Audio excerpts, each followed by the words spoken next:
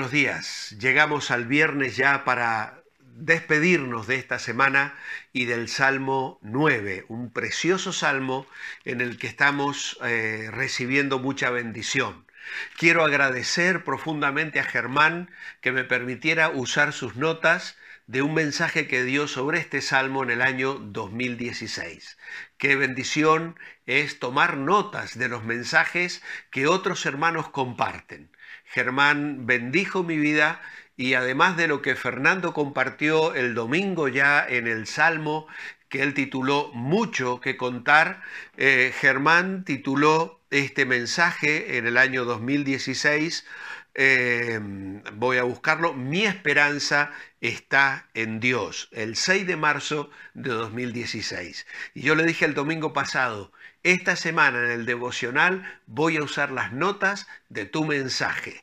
Y él ni se acordaba que había predicado sobre este salmo. Sin embargo, las notas de él han sido de muchísima bendición y yo lo he compartido con todos vosotros el, este, este bosquejo del, es precisamente de él, de Germán, y él nos hablaba de esto, del ambiente conflictivo que uno percibe a lo largo de todo el Salmo, pero luego en segundo lugar la actuación contundente. Dios interviene poniendo su mano poderosa y reflejando de esta manera su gran misericordia sobre el salmista. Frente a esto hay una actitud consecuente de parte del salmista.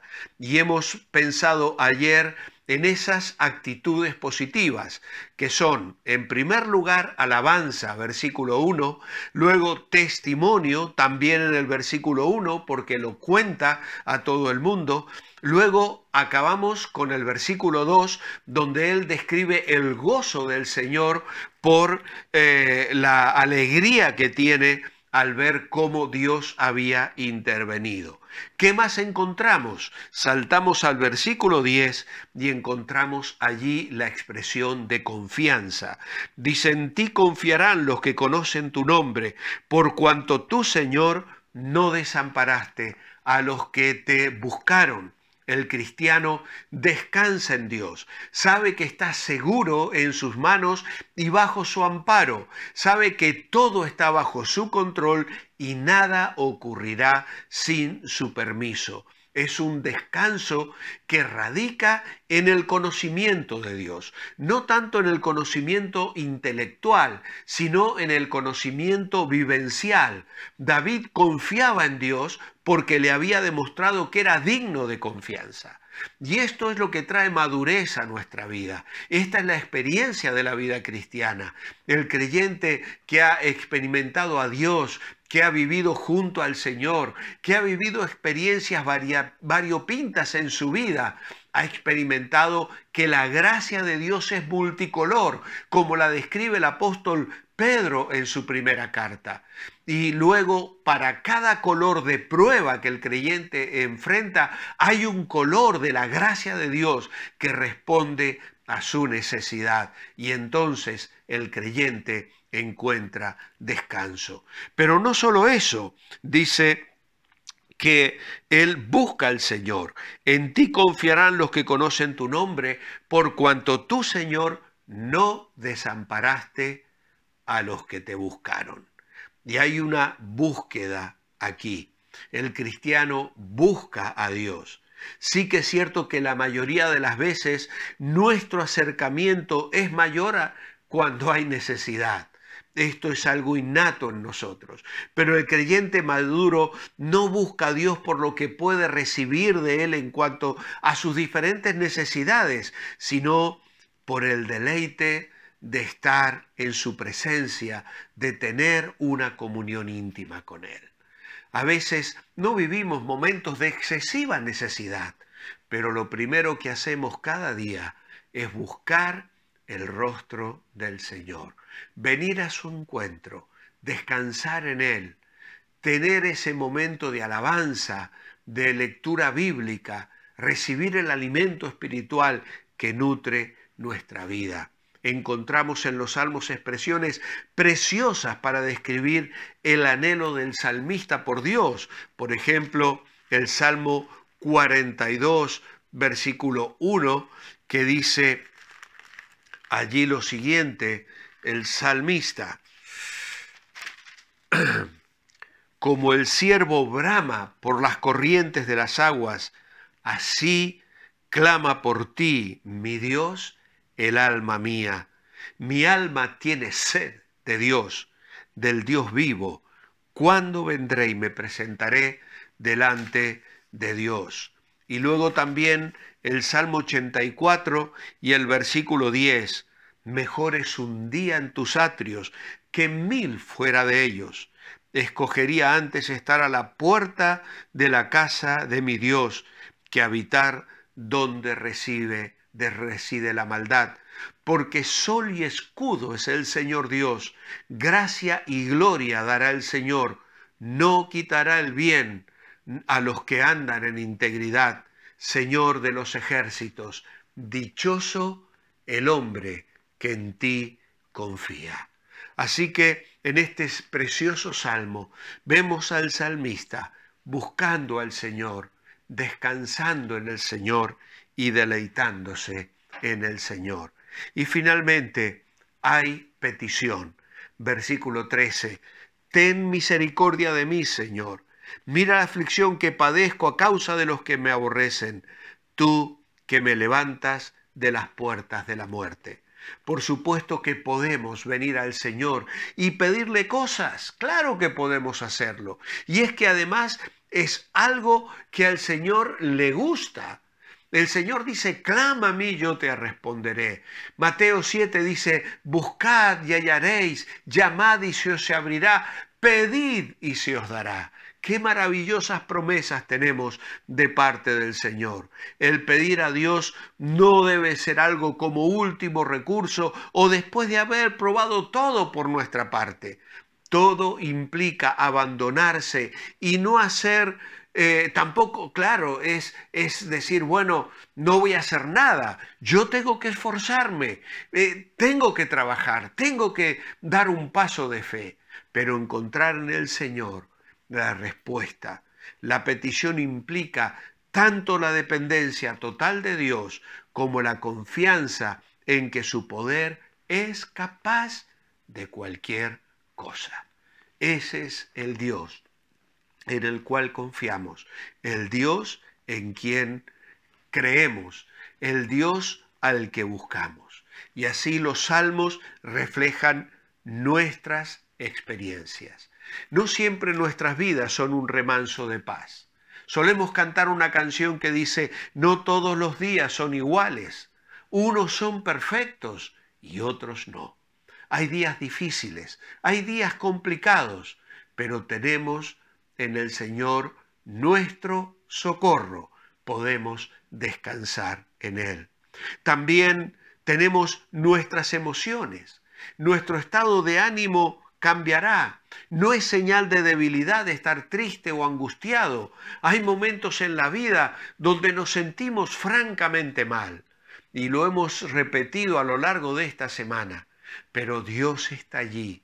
Dios no cambia. Dios es fiel ha prometido estar con nosotros todos los días hasta el fin del mundo y nunca, nunca, nunca nos ha de abandonar. Nuestras manos y perdón, nuestras vidas están completamente en las manos de Dios. Él se preocupa por nosotros. Su tierno amor le lleva a intervenir en nuestra vida conforme a su plan y su voluntad. La promesa de Dios es que a los que aman a Dios, todas las cosas les ayudan a bien. El Salmo 23 dice, ciertamente el bien y la misericordia me seguirán todos los días de mi vida. Y a veces hay días difíciles, pero en medio de las dificultades hay una bendición que de parte del Señor está reservada para cada uno de nosotros. Por eso nos unimos al salmista y volvemos a decir, te alabaré Señor con todo mi corazón, contaré todas tus maravillas, me alegraré y me regocijaré en ti, cantaré a tu nombre, oh Altísimo. Mi oración en esta mañana es, oh Señor, tú eres el refugio del pobre, eres el refugio en mis tiempos de angustia. Por eso, Señor, porque conozco tu nombre, confío en ti, porque tú, Señor, no desamparaste a los que te buscaron, porque tú, Señor, no desampararás a los que te buscan, y porque tú, Señor, no desamparas en el día de hoy a cada uno de aquellos que te buscamos. Te amamos, Señor, con todo el corazón y te alabamos y bendecimos en este día. En tu nombre. Amén. Que el Señor os bendiga, que tengáis un muy buen fin de semana. Os espero el próximo lunes para seguir meditando en el siguiente salmo y que todos os mantengáis bendecibles. A Dios sea la gloria.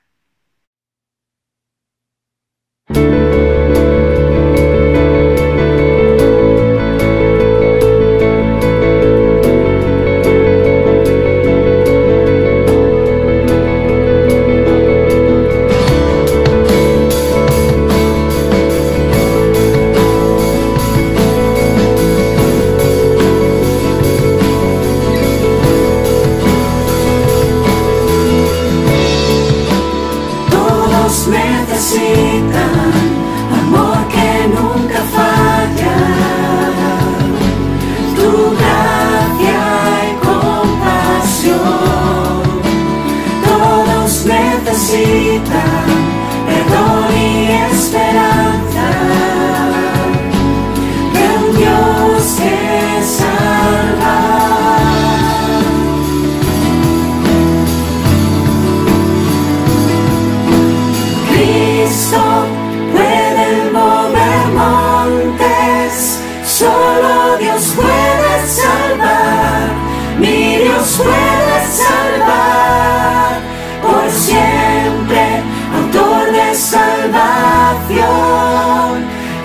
La muerte.